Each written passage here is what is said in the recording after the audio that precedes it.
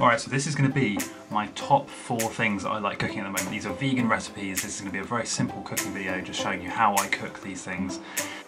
Alright, so the first one is a Thai green curry. This is the perfect dish for just if you want something light and refreshing. It's really healthy. So first step, just chop up some carrots. Wash them first, obviously, make sure they're diced nice and small. Then just put some olive oil in a frying pan. Heat it up, add the carrots in because they take ages to cook, okay? Then while that's doing, you want to chop up some peppers, make sure to wash them first, dice them into small little cubes, and then you want to add those to the carrots, mix them in nicely. While they're cooking, chop up some green beans or some snap beans, whatever they're called, add them in.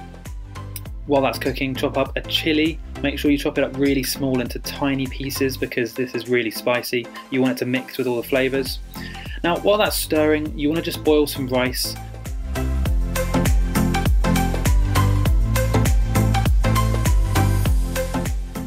Now, you want to add your Thai green curry paste and coconut milk to the mixture. You want to cook them all until it's all sort of absorbed into a light colour. Uh, this is quite important, you want to make sure that it does absorb all the flavours here. Now when that's boiled for a bit, you're going to want to add some either some vegan meat pieces or you know you can add some stock as well just to flavour it a bit more. I like to add some vegan meat pieces just because they give it more sort of substance, but you don't have to. You could you could also add lentils or chickpeas if you wanted. And that's pretty much it. That's a Thai green curry done.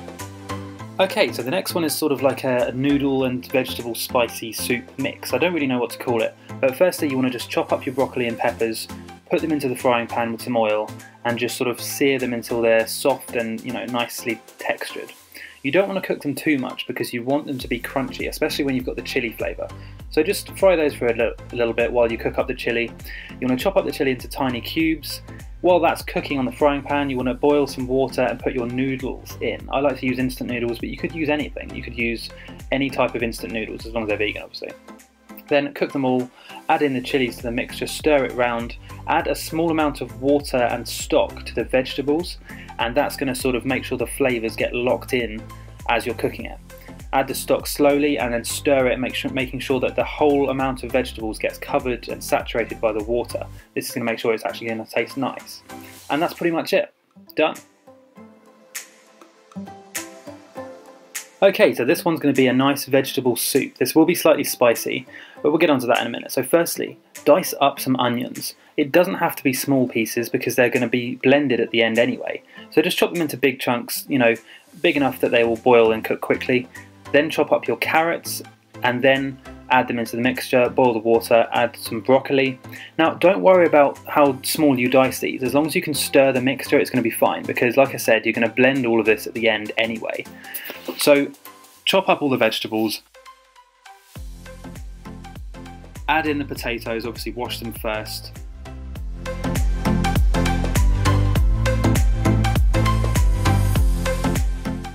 Now what we're going to do is think about adding some seasoning. So you're going to chop up a chili. As I said, you can chop it up into small pieces, but it's going to be blended, so it doesn't really have to be this small. Add in some herbs, the chili, and maybe a, a bit of stock as well. Stir the mixture around and then start it to boil. It's going to take a while to cook all of these vegetables simply because they they take a long time to cook. So add in your stock and herbs, as I said.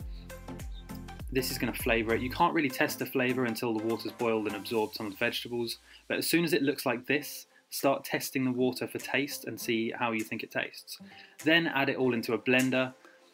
It doesn't look great at this stage, but then once it's blended, it will look really good. Blend it all up. You might have to do it in stages, and then you're done. That's a vegetable soup.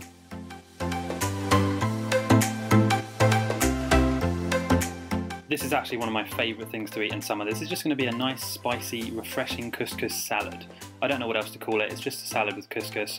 You basically add in the couscous to a bowl, put some salt and stock on top of it, cover it with one centimetre of boiling water and then stir the mixture in. That's all you need to do. As soon as you've done that, cover it with some foil and leave it to stand for 10 minutes. I find the best taste is 7 minutes, but you want to just be sure that it's cooked.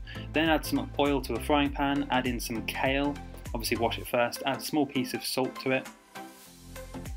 Chop up your peppers, these are going to be a key ingredient because they make it crunchy and refreshing. Make them into small cubes, Add in some chili as well. I like to remove the seeds usually, but in this video obviously I didn't. Um, mix that all together, making sure that the chili is in small pieces. Then you need to just fork the couscous to make it all fluffy. Add in the vegetables. Add in some chickpeas, not sure why that's upside down. Add some sweet corn. This again, this just makes it crunchy and refreshing. The chickpeas give the protein.